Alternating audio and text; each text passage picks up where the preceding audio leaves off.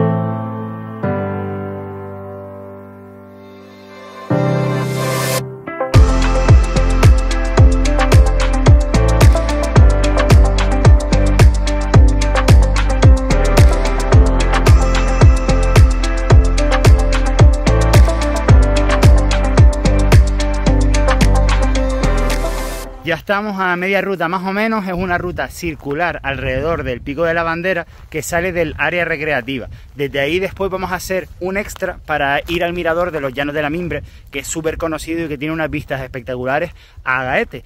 Más o menos en total serán unos 10 kilómetros, aunque realmente podrás hacer a lo mejor solo la parte del mirador, que lo verás al final, o hacer el track entero, que es lo que estamos haciendo y como bien sabes te lo dejaremos en el link de la descripción.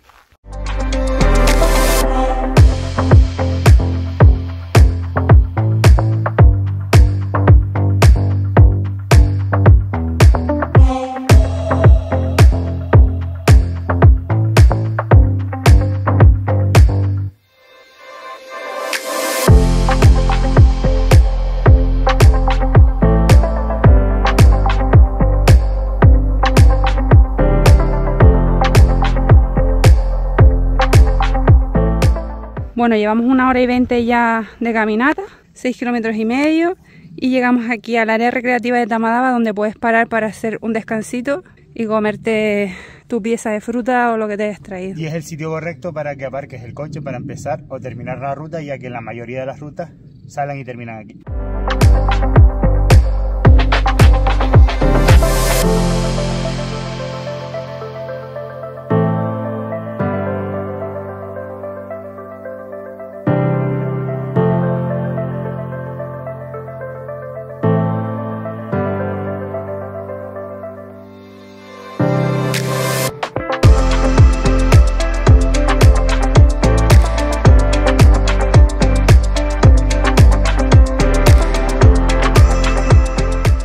Bueno, ya hemos acabado esta ruta circular por el Parque Natural de Tamadaba. Han sido unos 9 kilómetros y hemos tardado unas dos horitas, pero nosotros hemos ido caminando corriendo. También ten en cuenta que hemos parado mucho para grabar. Es una ruta fácil porque eh, tiene poco desnivel, han sido unos 300 metros, 300 con algo, y no hay ningún paso complicado. Ahora nos vamos a comer a Artenara.